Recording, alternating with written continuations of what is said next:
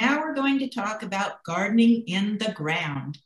A raised bed is any garden bed that is raised above the ground.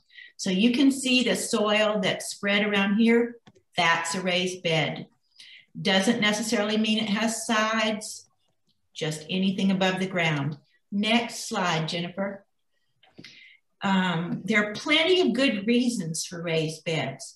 You can avoid walking in them and compacting or tamping down the soil, which is what you don't want to do.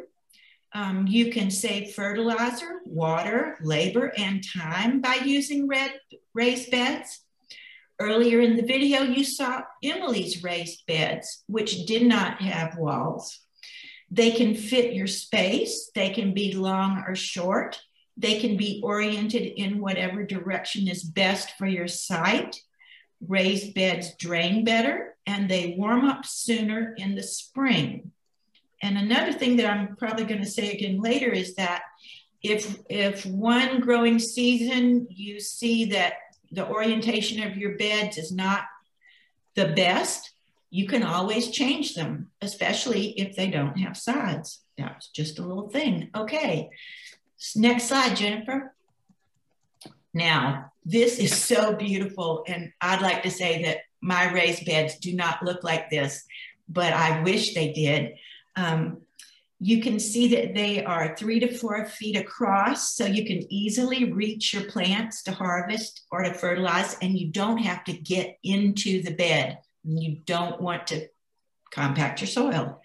The paths, these are beautiful, should be wide enough to walk comfortably between the beds. And if you plan to use a wheelbarrow or a garden cart, the paths need to be able to accommodate those so you aren't rolling over your plants or compacting the soil. Okay, next slide.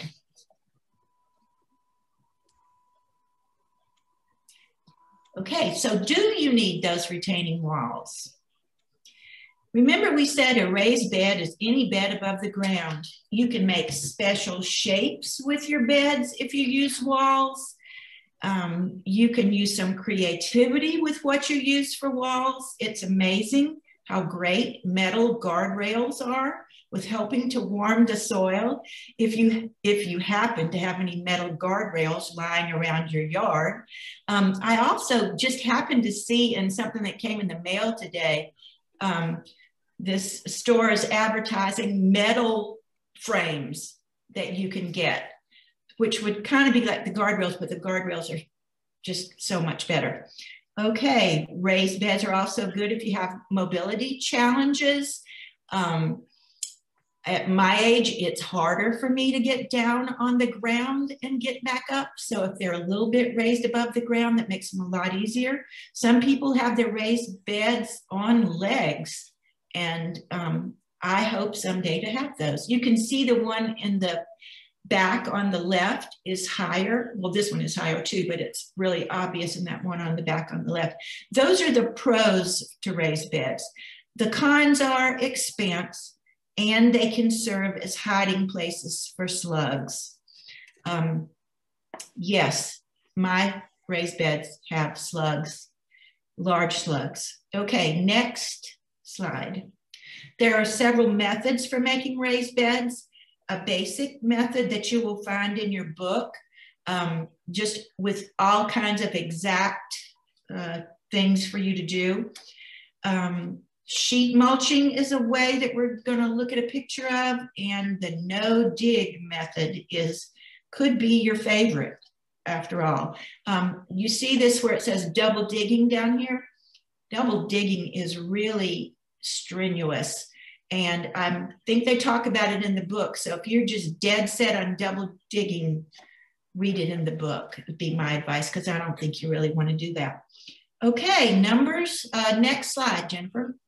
So you will get good results if you use this method for the basic raised bed, but it is hard work. And um, you can see people are they're using twine and they're um, you can you got dowels or uh, bamboo pieces to lay out your bed, and then you you layer compost and fertilizer and whatever. Um, those are really good things. Okay, but one thing about those raised beds with the walls, and maybe I said this, is you're not going to want to change the orientation. Pretty much once you've got them, it's going to be a lot of work to change that. Okay, let's go to the next slide. So these are the sheet mulch beds and they're layered as you can see and you can read all about this in your book. And if we go to the next slide, you can see that there are bunches of layers and um, this is in your book. So if you wanna do this, you can do it. Okay, let's go to the, oh, one thing I, I get, hmm, I guess what I was gonna say about this is it's also called lasagna gardening. So if you Google uh, lasagna gardening, you can get a lot of information. Okay, Jennifer, next slide. So this is the no dig method. You lay down cardboard or black plastic on your area and cover it with soil. I saw this today on, um, I'm not going to be able to think of the name of the street because I can never remember streets, but I thought I should have stopped today and taken a picture. So, because I could show you the actual place where somebody is doing this in their yard. Um, you lay down cardboard or black plastic, um, you put soil on top, the heat from the sun with the and the, having the sun blocked will kill what's underneath. This method takes a while. It's best done in the fall, but I've also heard from someone who did this one February and was able to plant around April or May. So let's see, this is March. Mm, be hard, be hard to have it work right now, but you might try it. This is by far the easiest method. You probably will not want to use this method if your gardening area is large. Okay, next slide.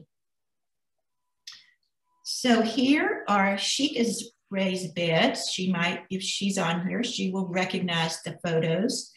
Um, some of her beds are without walls and some of them are with. One good thing about the one without is that if you see you don't like the bed's orientation with the sun in your yard one summer, you can change it the next summer. The advantage of the bed on the right with walls that you see here is that you can use PVC pipe and sheeting to cover tender young plants. That's a really good thing. Next slide. Okay, so this is my backyard probably 10, I can't remember how long ago, but long ago. And you see the two raised beds, and you see that I inherited them. And you see that one, you can't see it, but one goes one way and one goes the other way. Um, and you also see all those tree trunks in the back. Those are the tree trunks in my backyard and in other people's backyard. So I don't get the full six hours of sun. But if you look over on that bed on the right, you can see those beans are growing, and that made me really happy. Um, so that's why I like to garden in containers, honestly, because I just worry about the sun and I, I can move my pots around and coddle them if I want to. Okay, let's have the next slide. Here are some young bean plants that came up from seed. Since these photos of my raised bed was, were taken, we've been visited by a rabbit. We now have chicken wire around the beds. This year, we're going to have to add something on top because now we have a resident squirrel. It's always something, but the joy of growing your own veggies cannot be beat. It is so fun to go out there and see something different every day. I love it.